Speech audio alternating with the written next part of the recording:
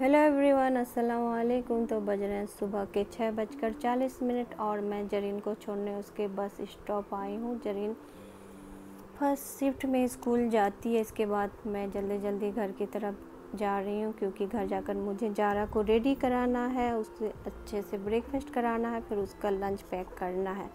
आज मैंने डॉक्टर से अपने हजबेंड के लिए अपॉइंटमेंट लिया है और मुझे नौ बजे का टाइम मिला है और यहीं पे मेरा पौने नौ बज गया है। मुझे कुछ ज़्यादा ही टेंशन हो रहा था कि टाइम पे पहुँच पाऊँगी कि नहीं।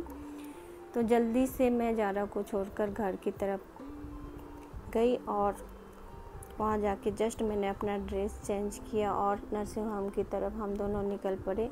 मेरे ड्राइवर ने छुट्टी लिया हुआ है तो मेरे हस्बैंड को खुद ड्राइव करना पड़ रहा है। तो जल्दबाजी में मैंने ना अपने बालों में कंघी किया, ना क्रीम लगाया। सारा कुछ मैंने अपने गाड़ी में ही किया। तो कुछ ही मिनटों में हम लोग नर्सिंग होम पहुँच गए। यह एक ऐसी जगह है जहाँ पे किसी को भी आने का मन नहीं करता। मेरा तो बिल्कुल भी मन नहीं करता है। सारा दिन बर्बाद हो जाता है और मुझे पता नहीं क्यों बिल्कुल भी पसंद नहीं है नर्सिंग होम। तो नर्सिंग होम पहुँचने के बाद लगभग दो घंटा तक टेस्ट हुआ।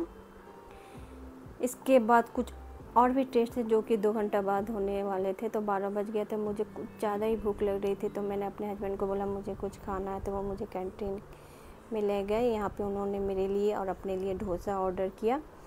मुझे कुछ ज़्यादा ही टेंशन हो रहा था क्योंकि मेरा घर सारा बिखरा हुआ था, घर का सारा काम ऐसे ही पड़ा था और इनका दो तीन घंटा और लगने वाला था। तो मैंने अपने छोटे मामा को कॉल किया कि आप आओ और इनके साथ रहो, मैं घर जाती हूँ क्योंकि घर में मेरे सारे काम बिखरा हुआ है। तो मामा आए, उन्होंने मुझे बोला कि मैं छोड़ देता हूँ। मैंने बोला, मैं खुद से चले जाऊँगी।